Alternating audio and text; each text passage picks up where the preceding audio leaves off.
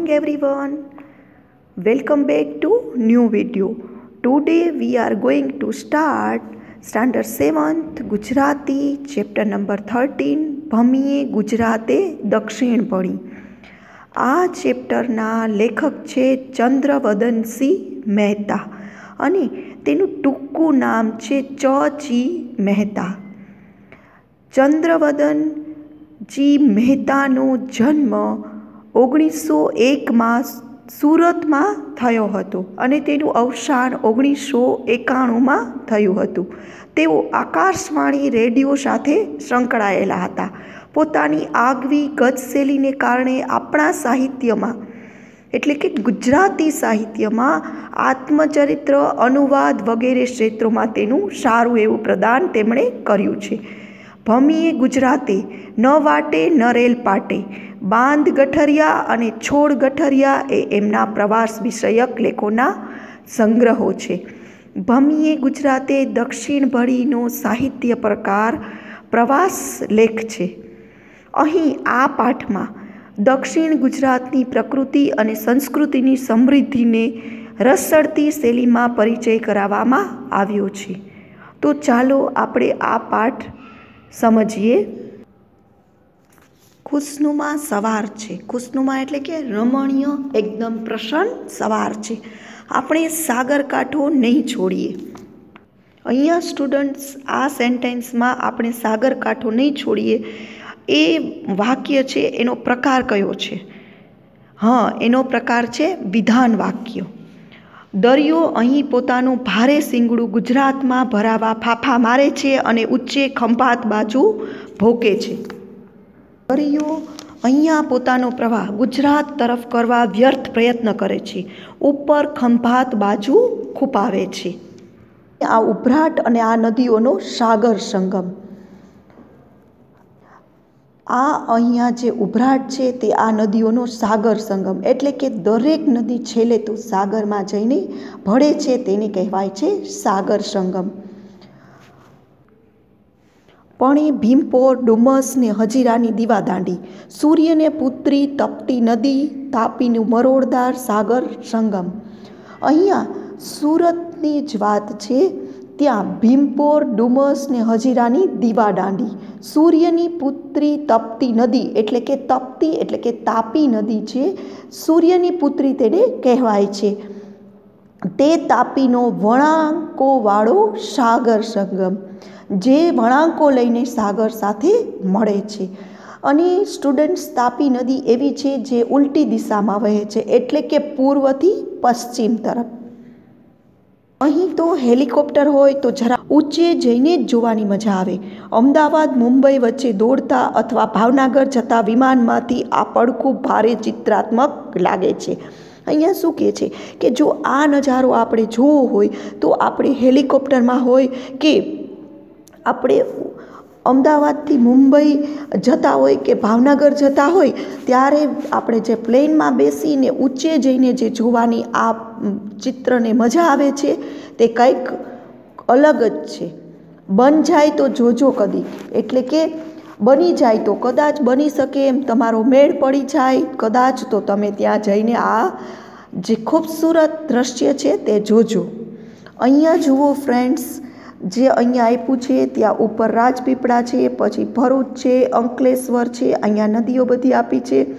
અહીંયા માંડવી, બારડોલી, સુરત સિંગપોર ભીમપોર, ડુમસ. જુઓ સુરતથી અહીં નીચેના ભાગમાં જે ડુમસ, ભીમપોર, હજીરાની જે છે, આપણે વાત કરીએ છીએ, એ આ સ્થળો દરિયા કિનારાના છે. ભીમપોરના ખારવા, ખલાસી, જગમસૂર. ભલભલા દરિયા હચમચાવે અલક મલક ગજાવે. ખારવા ખલાસી, એટલે કે વહાણ ચલાવનાર, જે વિશ્વમાં પ્રસિદ્ધ છે ને તેઓ શું કરે છે? અહીંના બધા દરિયાઓની હચમચાવે છે અને અલગ મલકને ગજાવે છે. અહીંથી જ પેલો નોર્વે ગિયેલો જગન કારાત્યા જઈ એણે મધરાતે ઘૂમરી ઘાલતા, સુસવાટા કરતા, ફૂમતા મરોડદાર દરિયાને દેખેલો. અહીંથી જ એટલે કે ક્યાંથી? કે જે આ સુરતના દરિયામાંથી જ પેલો નોર્વે ગિયેલો એટલે કે ગયેલો કોણ? જગત કારાતિયા.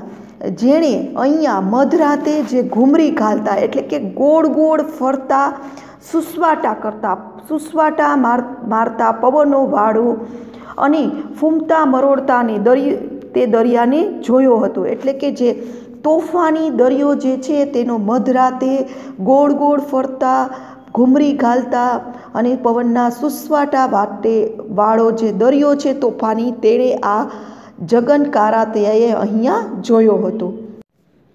માતાની આઠમે નવરાત્રિમાં કેળે ઘૂઘરા બાંધી ઘેરિયા ઘૂમતા રહે. ઘેરિયા એટલે ઘેરૈયા.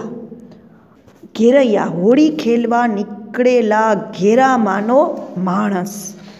હવે અહીંયા શું કહે છે? કે જે નવરાત્રિમાં માતાજીની આઠમના દિવસે કમર ઉપર ઘોઘરા બાંધીને જે ઘેરૈયા ઘૂમતા રહે છે અને તે આ ગીત લલકાર્યા કરે છે, એટલે કે ગાયા કરે છે. તે કયું ગીત છે? કે એકવાર ભીમપોર જાજો રે ઘેરૈયા ગીત લલકાર્યા કરે છે. અને શ્રાવણ મહિને ભીમપોરિયા હનુમાનનો મેળો જોવા સુરતથી ગેણિયા બેલને દોડાવતા સુરતી લાલા નીકળી પડે છે. શ્રાવણ મહિનામાં ભીમપોરિયાના હનુમાનનો જે મેળો ભરાય છે તે જોવા માટે સુરતથી ગેણિયા એટલે કે ઠીંગણા પણ વેગથી ચાલતો એક જાતનો જે બળદ છે તેને દોડાવીને સુરતી લાલા એટલે કે સુરતના જે લોકો છે તે નીકળી પડે છે. અહીંયા સ્ટુડન્ટ્સ તમે જોયું કે ભીમપોરમાં બે બાબત પ્રસિદ્ધ છે. એક તો છે તેના ખારવા ખલાસી અને બીજો છે તેનો મેળો. હવે આગળ વાત કરી છે શેની? હજીરાની દીવાદાંડીની. તો હજીરાની દીવાદાંડીની પણ અનેક વાતો છે. અહીંયા આ સેન્ટેન્સમાં આપણે ક્રિયા વિશેષણ આમાંથી શોધીએ તો કયું છે ક્રિયા વિશેષણ? હા, તે ક્રિયા વિશેષણ છે અનેક. આ દીવાદાંડી મનમોહક છે, સુંદર છે. પણ આપણે તો આ દીવાદાંડીની ઘણી બધી વાતો છે. પણ આપણે તો અહીંયા શું કરવા નીકળ્યા છીએ? તો આપણે તો અહીંયા કુદરત જોવા નીકળ્યા છીએ. તાપીનો આ સંગમ કેટલો મનમોહક છે. જે સુરતમાં આવેલી જે તાપી નદી છે, તે જ્યાં સાગરને મળે છે, તે સાગર સાથેનો જે સંગમ છે તાપી નદીનો, તે કેટલો બધો મનમોહક, કેટલો બધો સુંદર છે. આપણે એને કાંઠે કાંઠે સુરત જઈએ. હવે આપણે સુરતની પ્રવાસ કરવા જવાનો છે, પણ કઈ જગ્યાએ તાપીના કાંઠે કાંઠે, એટલે કે કિનારે કિનારે આપણે જઈશું. તેના લોલ વિલોલ જોતા જોતા એ જ રસ્તે પરદેશીઓ આકર્ષાઈને ઘૂસી આવ્યા હતા. હવે લોલ વિલોલ એટલે કે સૌંદર્ય. એટલે કે જે આ તાપી નદીનું કાંઠે કાંઠે આપણે જાય છીએ, ત્યાં આપણે જોઈએ છીએ કે તેની જે સૌંદર્ય છે તેનાથી જ આકર્ષાઈને અને તે જ રસ્તે પરદેશીઓ એટલે કે વિદેશી લોકો જે છે એ આપણા ભારતમાં અહીંથી જ આકર્ષાઈને ઘૂસી આવ્યા હતા. એટલે કે અહીંથી જ તે લોકો એન્ટર થઈ ગયા હતા. આ એ જ સુરત શહેર ત્રણ પ્રખ્યાત નન્નાનું કવિ મલબારી કહે છે તેમ. ન ન નાનું એટલે શું? કે એક તો કવિ નર્મદ અને બીજા છે વિવેચક નવલરામ અને ત્રીજા છે નવલ કથાકાર નંદશંકર મહેતા. આ ત્રણેય ક્યાંના રહેવાસી છે? તે લોકો સુરતના રહેવાસી છે અને એકદમ પ્રસિદ્ધ છે. તો આ પ્રખ્યાત ત્રણેય છે એનું આ સુરત શહેર છે તેના માટે કવિ મલબારી શું કહે છે? તે આ પંક્તિ કહે છે કે, મોજ શોખને ખાણી પીણી સુરતી લાલા સહેલાણી, વાડી ગાડી લાડીમાં તે કીધી જિંદગી ધૂળધાણી. અહીંયા સુરતી લાલા સુરતી લાલા એટલે કે જે સુરતના છે લોકો છે તે કેવા છે? અને મોજ શોખમાં અને ખાણીપીણીમાં તે લોકો પોતાની જે જિંદગી છે, તેમણે કેવી કરી નાખી છે? ધૂળધાણી એટલે કે ખરાબ કરી નાખી છે, બરબાદી કરી નાખી છે. તે લોકો મોજ શોખમાં અને પોતે ખાણીપીણીમાં તે પોતાની જે ઇન્કમ હોય છે, તે બધી જ આ મોજ શોખમાં તે લોકોએ બરબાદ કરી નાખી છે, ખરાબ કરી નાખી છે. તેથી તેની જિંદગી કેવી થઈ જાય છે? ધૂળધાણી આગ રેલમાં ભાંગેલું, લૂંટે લૂંટાયેલું. શું કહે છે? અહીંયા સુરત વિશેની વાત છે તો સુરત કેટલીય વાર ભાંગી પડ્યું છે અને ફરી પાછું ઊભું થઈ ગયું છે. તો અહીંયા વાત કરી છે આગ રેલમાં ભાંગેલું. જે સુરત છે તે આગ રેલમાં ભાંગેલું. આગ રેલમાં સન અઢારસો સાડત્રીસના એપ્રિલમાં મોટી આગથી અને સન અઢારસો આડત્રીસમાં મોટા રેલથી ખુવાર થયેલું. એટલે શું થયું હતું આ એક વખત અહીંયા અઢારસો સાડત્રીસમાં આગ લાગી હતી અને અઢારસો ને આડત્રીસમાં અહીંયા રેલનો મોટો અકસ્માત થઈ તો એનાથી જે આ ખુવાર થઈ ગયેલું છે અને લૂંટે લૂંટાયેલું. એટલે કે સન સોળસો ચોસઠમાં શિવાજી દ્વારા લૂંટાયેલું જે આ સુરત શહેર છે.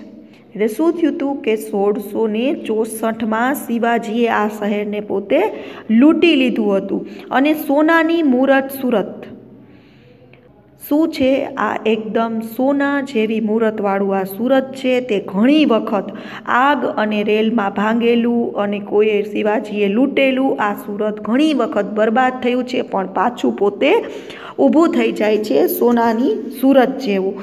અને આ બધું જે આની જ્યારે આવા અકસ્માત થાય છે તે જોઈને કવિ જે નર્મદ છે તે શું કહે છે કે આ તે સાતું જ હાલ કહીને નર્મદ છે એ રડી પડે છે. તે આ જ સુરત છે જેના માટે કવિ નર્મદ પોતે રડી પડે છે. અને આ જ રસ્તે સત્તરસો સિત્તેરની આસપાસ ફિરંગીઓ આવ્યા. અને અહીંયા સુરતથી થઈને જ આપણા દેશમાં સત્તરસો અને સિત્તેરની સાલમાં જે ફિરંગીઓ છે તે આપણા દેશમાં ઘૂસી આવ્યા હતા. અને સોળસો ને આઠ અને બારમાં અંગ્રેજો આવ્યા. અને જે સોળસો આઠ અને બાર છે તેમાં કોણ આવ્યું? વિદેશી જે પ્રજા છે તે અંગ્રેજો અહીંયા ભારતમાં ઘૂસી આવ્યા. અને તેની પાછળ અંગ્રેજો આવ્યા અને તેની પાછળ કોણ આવ્યું? તેની પાછળ વલંદાઓ આવ્યા. કોણ આવ્યું? વલંદાઓ. વલંદાઓ એટલે હોલેન્ડના જે વતની છે, જે ડચ લોકો છે, તે લોકો અહીંયા ઘૂસી આવ્યા. અને આ ત્રણેય આવ્યા. ફિરંગી આવ્યા, અંગ્રેજો આવ્યા અને ડચના વન, જે વતની છે, વલંદાઓ એ આવ્યા અને બાકી રહ્યું હતું તે સોળસો બેતાલીસમાં ફરાસિયાઓએ પોતાની કોઠી સુરતમાં સ્થાપી. જે ફરાસિયાઓ, એટલે કે જે ફ્રાન્સના જે વતનીઓ છે, એ પણ જાણે બાકી રહી ગયા હોય તેમ તે પણ અહીંયા સુરતમાં આવ્યા અને પોતાની જે કોઠી છે તે તેમણે અહીંયા સ્થાપી. કોઠી એટલે કે વેપાર કરવાની જે પેઢી હોય તેવું તે પોતે અહીંયા સ્થાપી. હજી એ ઇમારતો જોવા મળે છે અને જે આ ઇમારતો છે, જે કોઠીઓ છે, એ હજી પણ અત્યારે પણ સુરતમાં જોવા મળે છે. એ માહે માહે લડ્યા. એટલે એ એટલે કોણ? કે જે ફિરંગી, અંગ્રેજો, વલંદાઓ અને ફરાસિયા, જે ફ્રાન્સના વંતની જે ફ્રેન્ચ છે, એ લોકો માહે માહે એટલે અંદરો અંદર પોતે લડ્યા. અને એના ગોળીબારના નિશાનો હજુ પણ દેખાય છે. હજુ પણ સુરતમાં અહીંયા જે કોટીઓ છે, તેમાં આ ગોળીબારના નિશાનો હજી પણ આપણને જોવા મળે છે.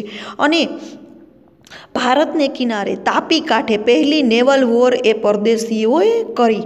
એટલે જે ભારતનો આપણો જે આ કિનારો છે, જે તાપી નદી છે, જે સુરતનો શહેર છે ને તેની જે તાપી નદી છે, તેના કિનારે પહેલી નેવર વોર એટલે કે યુદ્ધ, જે આ પરદેશીઓ પોતે અંદરો અંદર કરી અને એમાં કોણ ફાવી ગયું? તેમાં ફાવી ગયા અંગ્રેજો અને તે લોકો આપણા ભારત ઉપર આવીને તેમણે આપણા ભારત ઉપર શાસન કર્યું. હતાશ થઈ ગયા.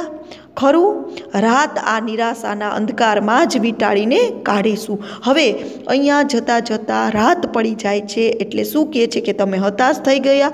હવે આપણે હતાશ થઈ ગયા. શું કામ એને? કારણ કે આપણે તો આ શહેર જોવું હતું. તો અહીંયા હવે આપણે આ રાત અહીંયા જ વિતાવશું. એક રાત છે એમ પણ હોય. એક રાત આપણે આવી રીતે પણ વિતાવી દેશું. તાપી કાંઠે કિલ્લો છે. અહીંયા શું છે? તાપીના કાંઠે કિલ્લો છે.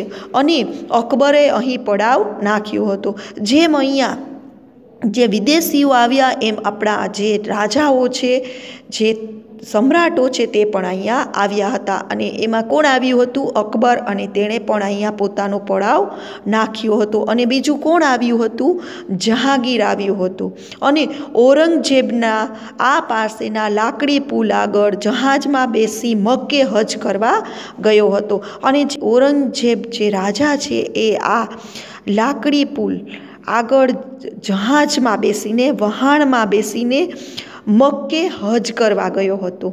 હવે જે મક્કા છે તે હજ કરવા માટેનું મુસ્લિમનું જે સ્થાન છે, જેમ આપણે હિન્દુઓની એવી માન્યતા હોય છે કે આપણે એક વખત આપણી પૂરી જિંદગીમાં કાશી કે હરિદ્વાર જવું તેવી રીતે, જાત્રા કરવા જવું તેવી રીતે મુસ્લિમોમાં એવું હોય છે કે એક વખત તેઓએ મક્કા જઈને હજ કરવી.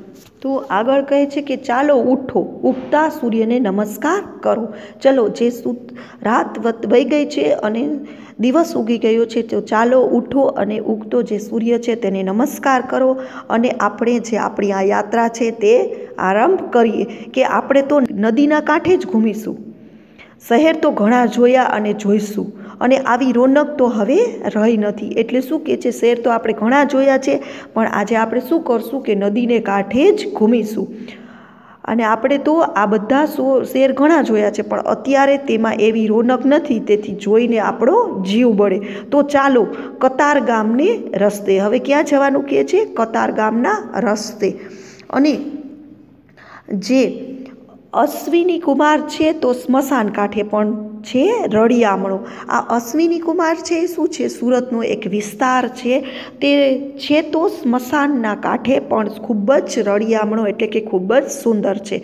પછી વરાછા, આગળ કામરેજ, માંડવી અતિ પ્રાચીન શહેરો જોવા મળે છે. ત્યાંથી આગળ જઈએ છીએ તો શું જોવા મળે છે? વારછા, કામરેજ અને માંડવી જે ખૂબ જ પુરાણા પ્રાચીન જે શહેરો છે એ આપણને જોવા મળે છે. અને આગળ જઈશું તો શું જોવા મળશે? Haripura.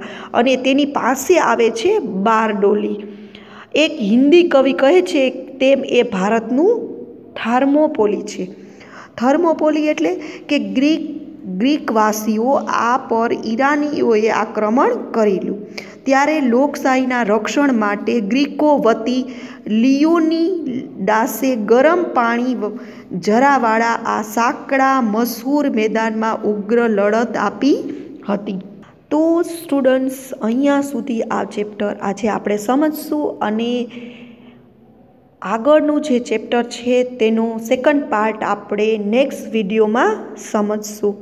Okay bye thank you so much